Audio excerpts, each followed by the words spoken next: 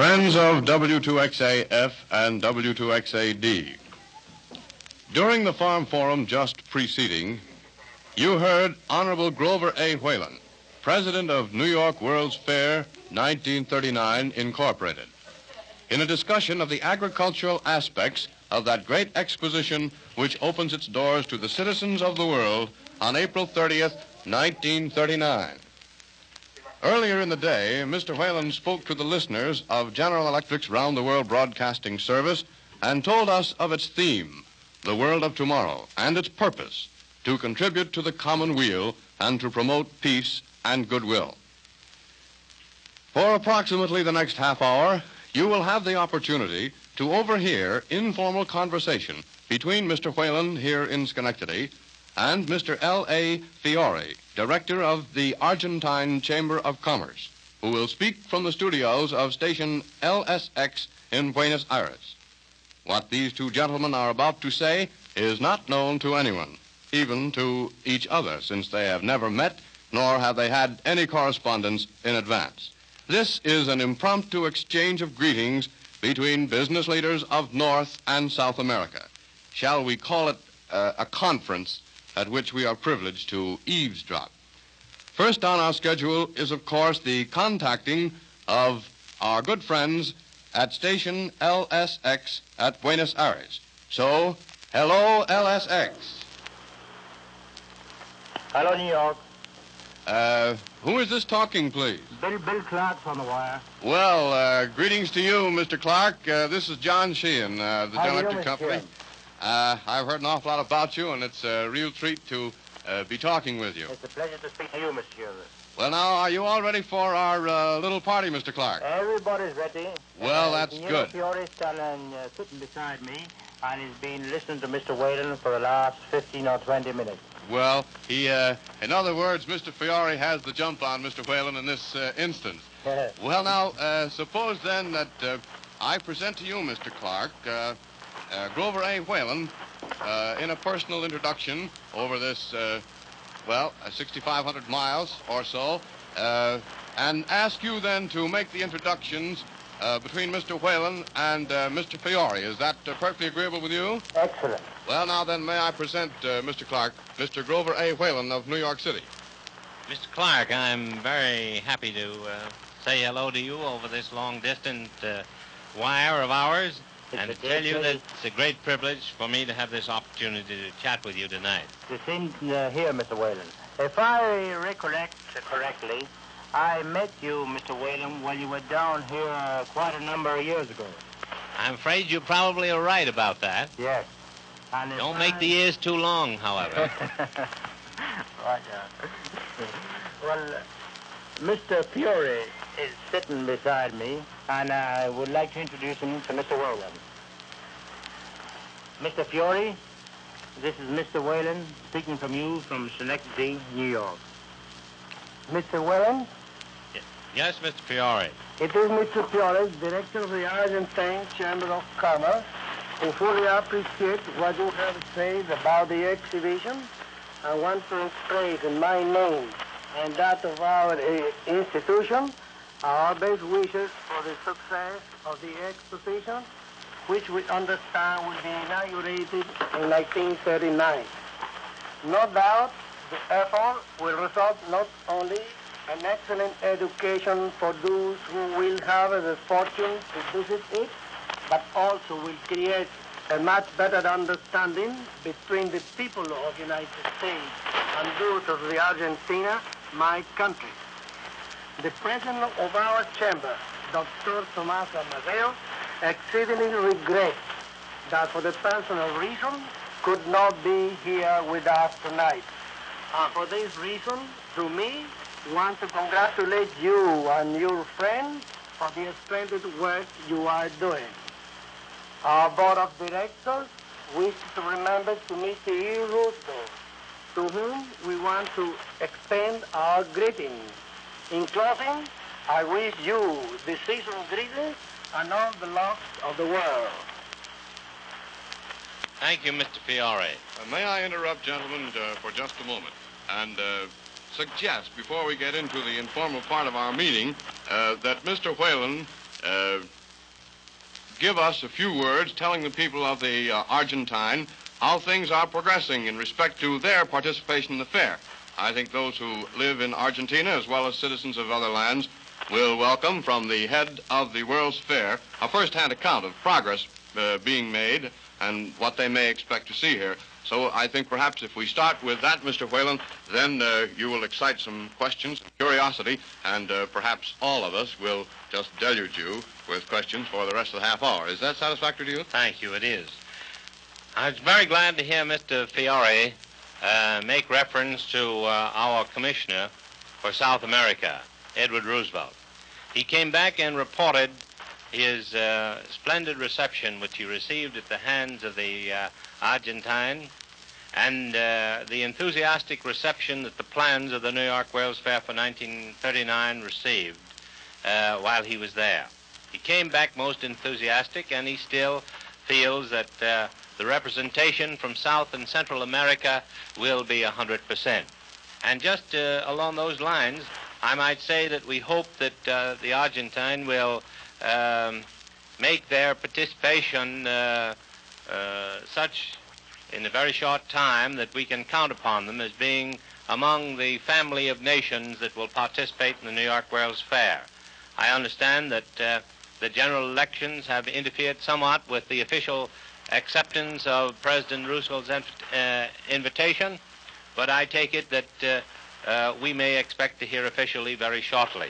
However, I should like to say that uh, the response to the President's invitation, which was issued some time ago, has been so great that uh, we shall find it difficult to uh, provide room for all the nations that wish to participate. And we should feel badly if we didn't have the Argentine as one of the nation, family of nations. Uh, at the present time, it might interest you to know, uh, Mr. Fiori, that 44 nations have already uh, entered uh, into agreement with the New York World's Fair to participate, and uh, many, uh, already 25 or 30 of the commissions have come to New York in order to survey the situation and develop their plans for uh, participation. So that um, in, the, in the government area, uh, which will provide the uh, home for uh, all nations, the United States government will stand at the head of the group of South American and uh, Central American uh, countries with the European Far East countries on either side, so that uh, in truth we shall have a real international fair uh, with all the families of the world represented in New York in 1939, and we want to be sure that you're with us. And what have you to say in answer to that, Mr. Fiori? I, I understand that the people of Argentina are very willing to be present on that inactivity. But I would suggest, if I may do so, that the, also the government should be interested in sending representation to that. We of Argentina always like to be in contact with the United States people through whom we learn a lot of things that we can apply immediately in our lives. For this reason, I think we should not omit any effort to try to persuade the Argentine industry as well as the merchants that I think will be a little bit of mistake if the government will not be interested in being represented in that opportunity. I myself, with uh, being educated in the United States, it goes without saying that I will be present. But I repeat it again in order to succeed entirely, or what we say in the state, 100%, it will be much better to persuade the government to be represented there. Well, indeed, uh, we have left no stern, uh, stone unturned to uh, induce your government to be represented, and we shall continue along those lines. We uh, know that uh, you will be happy uh, in your participation because of the character of the fair, which I understand that you listened into my broadcast a short time ago on the farm program. We uh, are hoping to receive in New York uh, as a minimum 50,000 visitors from all over the world, and you 50 million rather, and you will be able to uh, understand from uh, that number that New York uh, will be the hospitality center of the world. Uh, we feel that uh, New York is merely the place, if I may reiterate some of the things that I said before, where this exposition is going to be held. It might be held in the Argentine and still have the same high purpose uh, that we have in New York, with, uh, with the same elements of success that we hope to have here. Uh, we feel that it will provide a peace table for the uh, countries of the world around which they may sit and discuss the common problems that face all of us, both economic and social with the annihilation of distance, such has been uh, the work over a long period of years of the this great uh, the great General Electric Co- Corporation, we find that uh, you, for example, are right in the next room as we talk to you tonight.